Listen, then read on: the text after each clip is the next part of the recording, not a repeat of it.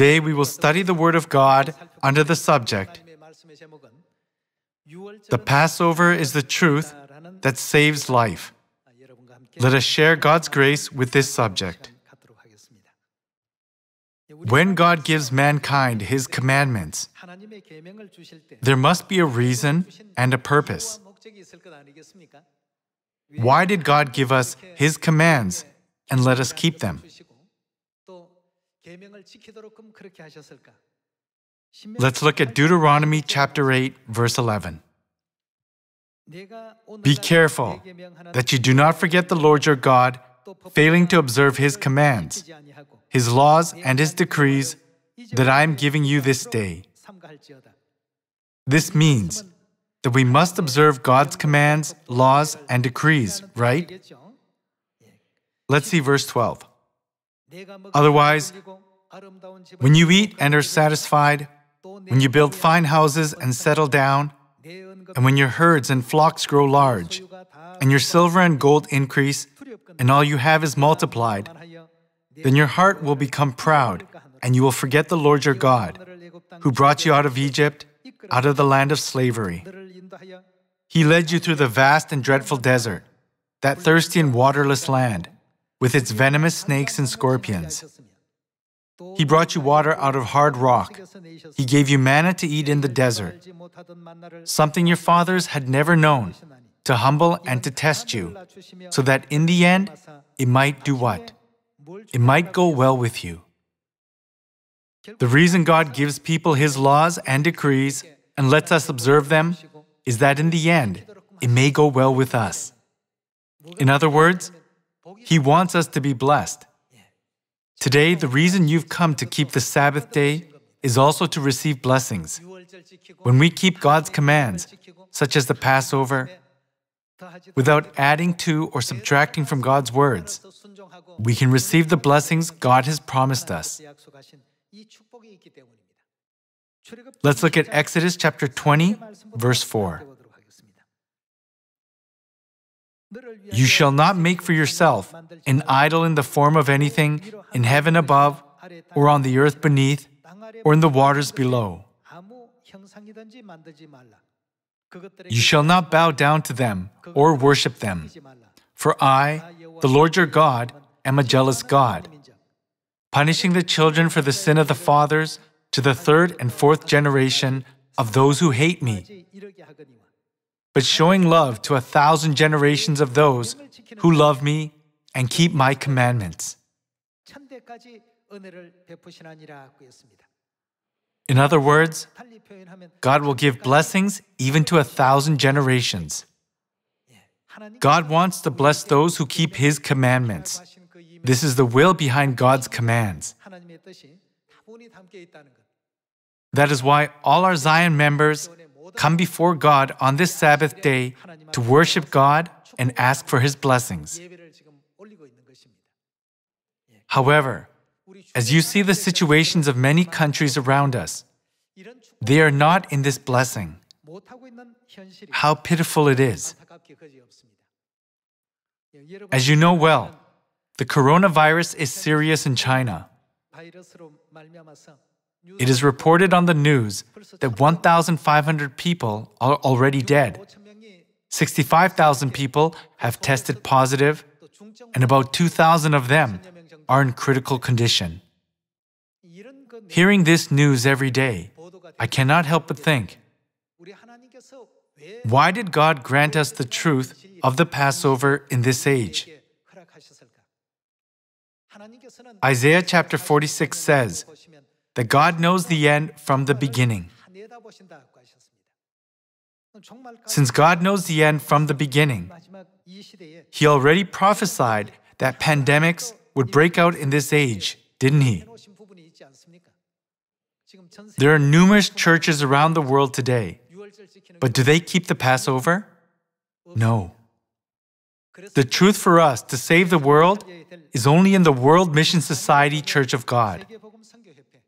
There is nothing other than the truth of the New Covenant Passover that Christ Ahnsahnghong proclaimed on the earth for mankind. Since we all know this, we should make this known to those who don't know. they do not understand the power of the Passover. According to Exodus chapter 20 and Deuteronomy chapter 8, God gives us His commands so that in the end, it may go well with us. From the viewpoint of God, the earth is nothing but a speck of dust floating in the universe.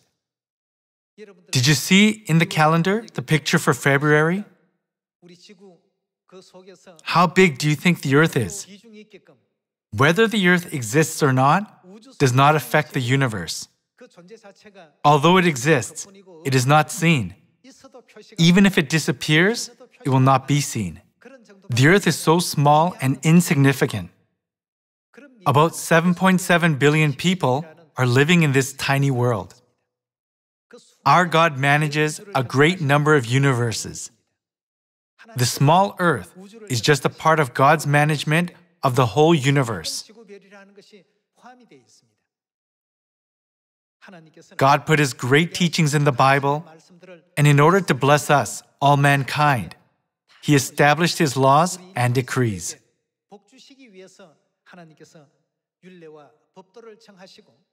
And He lets all people who are living according to the laws receive heavenly blessings which He gives from the universe. Despite that, people neither understand God's existence and His great divinity, nor fathom the power of His word. Rather, they say, This is just a religious concept made by Christians. How can we receive blessings by just doing that? They are now living with such a false idea. Now is the time for all the children of Zion to awaken the world to the truth. We should say, this world we are living in is not everything. The earth we view from space looks so humble. However, since we only live in this world, this small world looks very great. But the earth, if viewed from the kingdom of God, is very small and trivial. It is nothing. The command of the Passover that God established with the people living in the global village might be broken by people, but never by God. While thinking about the will of God who grants us the Passover, let us take a look at Hebrews chapter 9. Hebrews chapter 9, verse 27. Just as man is destined to die once, it is already destined. Some people leave the world a little early, and some others leave after enjoying a longer life. The difference is whether they leave today or a year later. All people once born are destined to die. This means that it is an essential course that everyone must go through. But God said that we must prepare for the world coming afterwards. Once born on the earth, all must leave here someday. God made us all exist on the earth for a limited period of time. Therefore, while we are on the earth, we must prepare for the future world to which we will go. In the process of living on the earth, we see some people suffering from disasters, some receiving blessings, some being rich, and some being poor. Various types of people are living in this small global village. But once born on the earth, all of them cannot help but face the moment of leaving this world, right? Today, let us think over this question What kind of blessing does God give us through His command of the Passover? Through the Passover, God protects us from disasters. Furthermore, God opened the way for us to enter heaven through the Passover. Today, there are countless churches on the earth, but the serious problem is that they do not keep the Passover. In other words, the people living on the earth disregard God's blessings. So we must make this known to them and teach them. Shouldn't we teach them saying, God has given us this teaching? Recently, about 1,500 people were killed by the coronavirus in Wuhan, China. We don't know what's going to happen with that from now on. Because of that, we've seen a decrease in the world economy and Korean economy.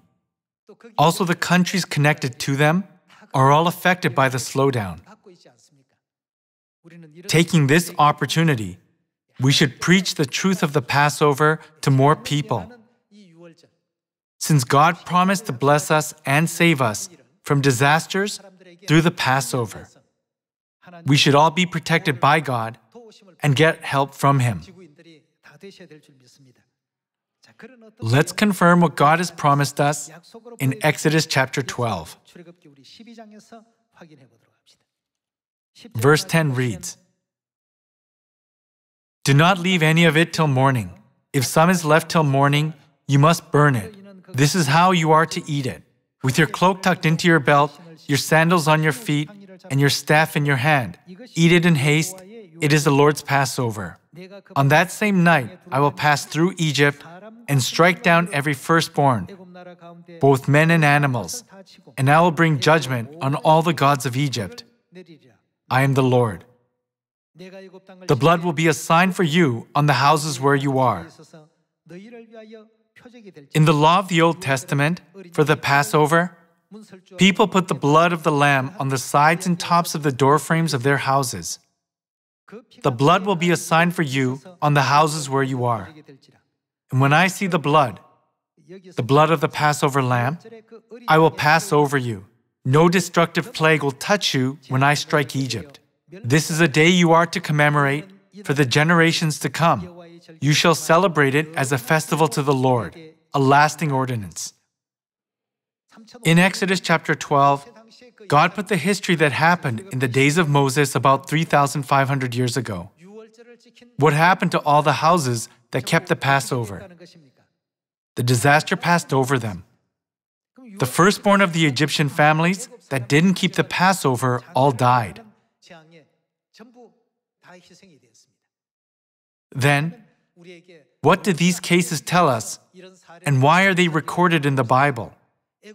Egypt stands for this sinful world.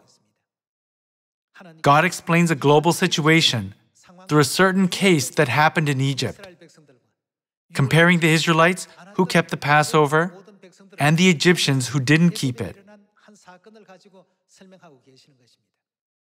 As for the households that kept the Passover, God let the destroying angels pass over the houses that had the blood. But the Egyptian people didn't keep it thinking. Just by putting the blood of the lamb on the sides and tops of the doorframes, can we really escape the disaster? Because they also had their own God. They believed that their God would save them. This is how they disregarded God's command and disobeyed Him. Then, were there any Egyptian houses that overcame the disaster without keeping the Passover? There was not a single house. That was how Pharaoh was forced to release the Israelites from slavery. By the power of the Passover, about 3,500 years ago.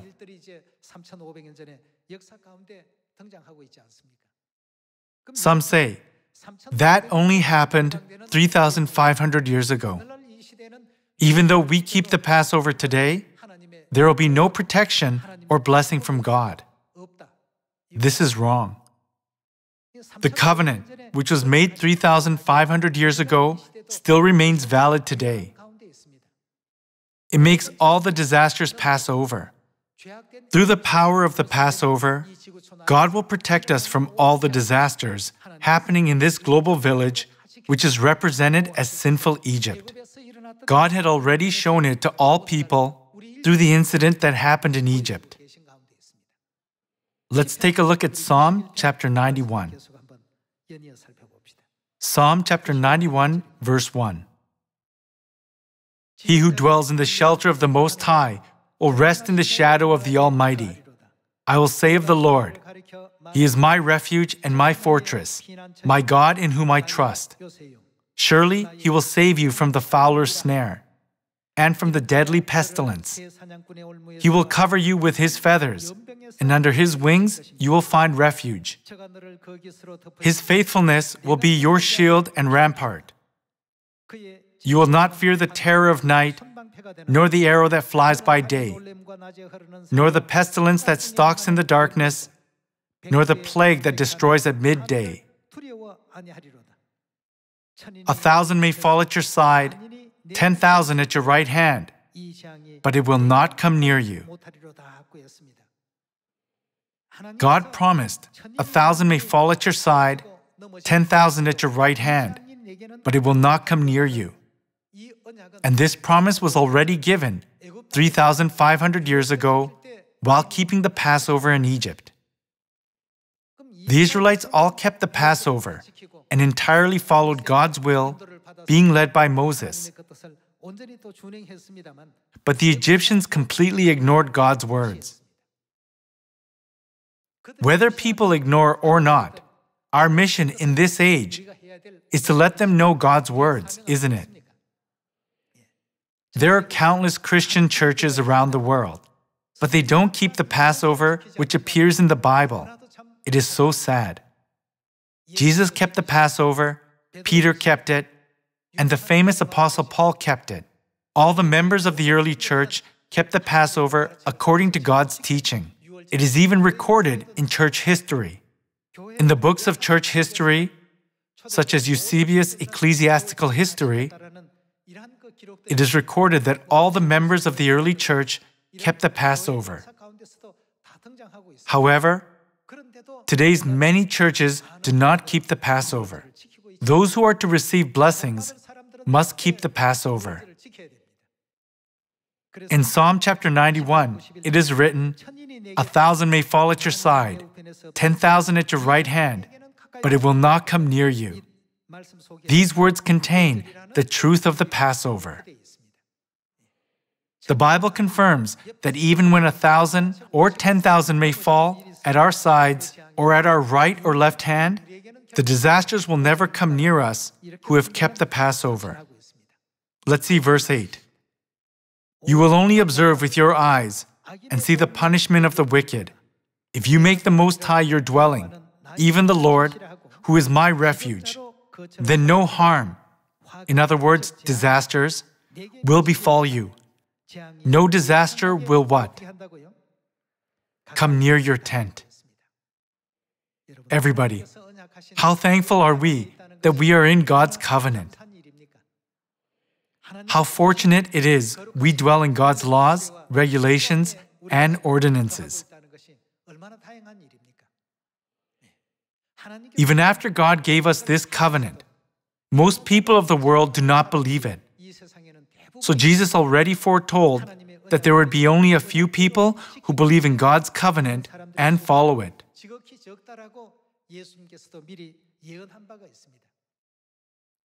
So, how does the Bible explain that road? The Bible explains that it is a narrow road and a small gate, doesn't it? Although it seems like the road that many people take is the right road, it doesn't work that way in the spiritual world. To which road has God led us? When Jesus, who sees the end from the beginning, foresaw how people on earth would be in the last age, there are far more people who do not obey the words of God than those who obey. It is heartbreaking. However, shouldn't we awaken the world and teach them until the last moment that God has set? We must teach and preach correctly to save our neighbors, families, relatives, and friends, saying, Let us all receive God's blessing. By doing so, we must enter the kingdom of heaven altogether. In the book of Exodus, the Israelites put the blood on the tops and sides of the doorframes of their houses, and God said that it would be a sign. God said, when the destroying angels see that sign, they will not strike the houses, but pass over you. In the book of Ezekiel, the sign is called a mark, and in the book of Revelation, it is called a seal. Let us look at the scenes where the people who kept the Passover have such a sign and confirm that such a sign is put on our foreheads as a seal. Let's see Ezekiel chapter 9, verse 3. Now the glory of the God of Israel went up from above the cherubim where it had been and moved to the threshold of the temple. Then the Lord called to the man clothed in linen, who had the writing kit at his side, and said to him, Go throughout the city of Jerusalem and put what? A mark on the foreheads of those who grieve and lament over all the detestable things that are done in it. As I listened, he said to the others, Follow him through the city and kill, without showing pity or compassion. Slaughter old men, young men and maidens, women and children, but do not touch whom? Anyone who has the mark. Begin at my sanctuary. So they began with the elders who were in front of the temple. This is a scene where the prophet Ezekiel sees a revelation and records that God will inflict disasters on all mankind. In the prophecy, it is said, Do not touch anyone who has the mark.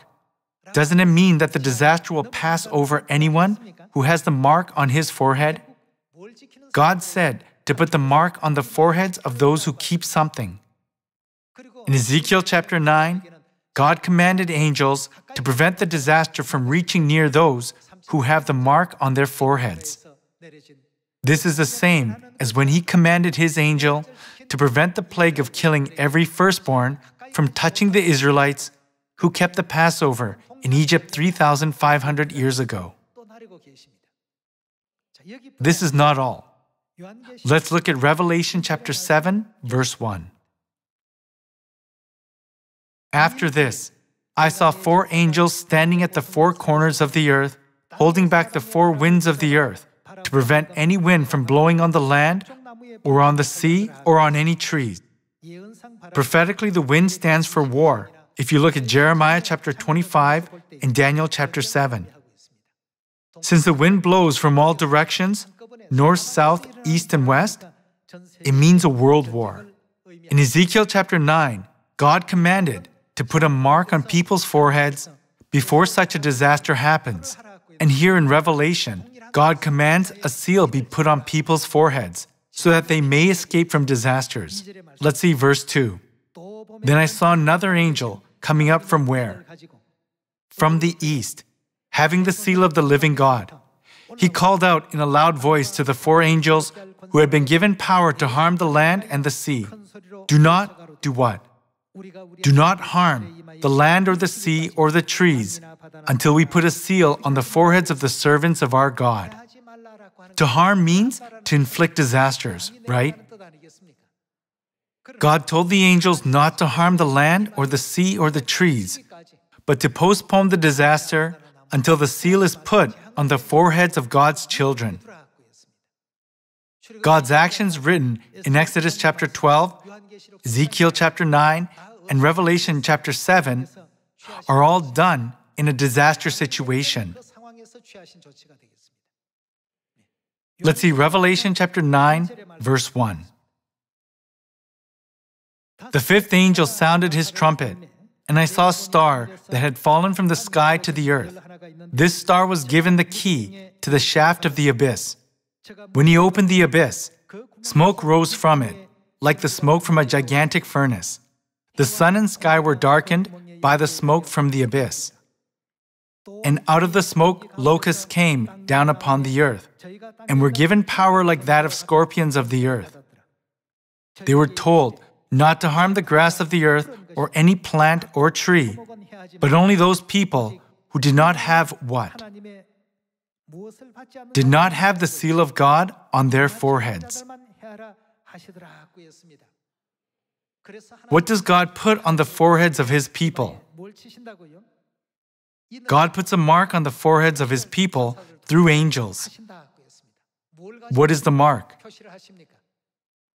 At the time of Moses, 3,500 years ago, as a sign, the blood of the Passover lamb was applied to the tops and sides of the doorframes of the houses that believed in God. However, in the last days, God let his people eat the flesh of the Son of Man and drink the blood of the Son of Man so that they can have the seal. The Passover is absolutely the necessary truth in this age. So Jesus eagerly wanted to celebrate the Passover. Let's look at the scene in Luke chapter 22, verse 7. Then came the day of unleavened bread, on which the Passover lamb had to be sacrificed. Jesus sent Peter and John, saying, Go and make preparations for us to eat the Passover. Jesus commanded, Prepare to celebrate the Passover. Then Peter and John did as Jesus had commanded them. Verse 13 They left and found things just as Jesus had told them. So they prepared what? The Passover. Let's look at verse 14. When the hour came, Jesus and his apostles reclined at the table, and he said to them, I have what? Eagerly desired to eat this Passover with you before I suffer. Jesus could simply have said, I desire to eat this Passover with you. But he emphasized, I eagerly desire to eat this Passover. Here we can understand how much Jesus wanted to eat the Passover with his disciples. Let's go to verse 19 and see how he ate the Passover.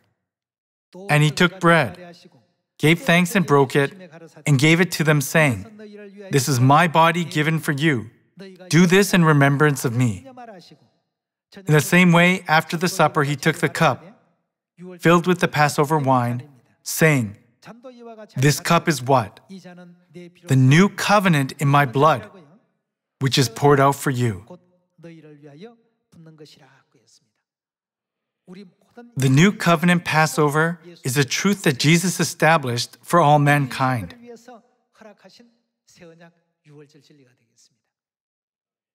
So we can see the scene of Jesus emphasizing repeatedly I have eagerly desired to eat this Passover, to celebrate the Passover with you.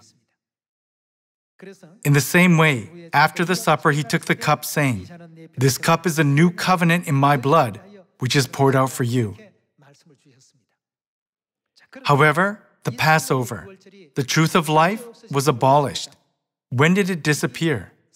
In AD 325, in the 4th century, the Passover was abolished by the Roman Catholic Church. The Roman Empire and the Roman Catholic Church conspired together to abolish the Passover, the truth of life. The fact that the Passover was abolished in AD 325 shows that it had been celebrated until AD 325, right?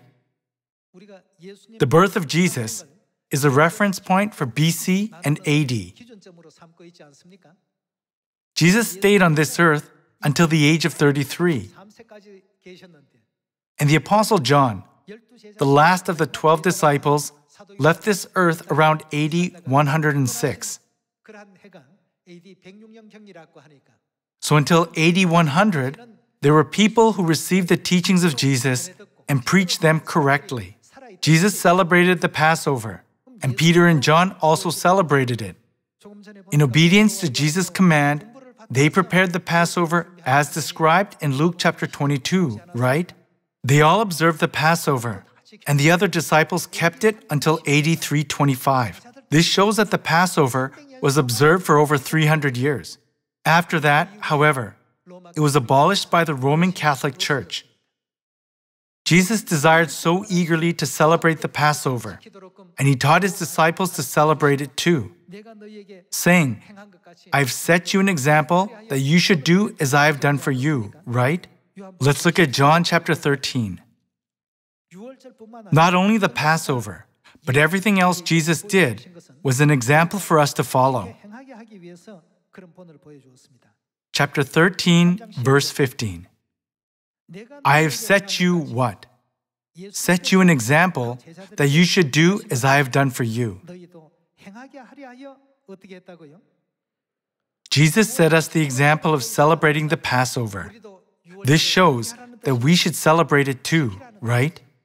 The Bible describes a scene of the Apostle Paul emphasizing strongly that the Passover is a truth that must not be abolished. Let's look at 1 Corinthians chapter 11, verse 23. For I received from whom? From the Lord what I also passed on to you the Lord Jesus, on the night he was betrayed, took bread, and when he had given thanks, he broke it and said, This is my body, which is for you. Do this in remembrance of me. In the same way, after supper, he took the cup, saying, He took the cup filled with the Passover wine and gave thanks. This cup is what? The new covenant in my blood. Do this whenever you drink it in remembrance of me. What did Jesus mean by saying, whenever you drink it? Did he mean that it would be okay to do it only once? No, he meant that we should continue to do it. Do this whenever you drink it in remembrance of me. For whenever you eat this bread and drink this cup, you proclaim the Lord's death until he comes.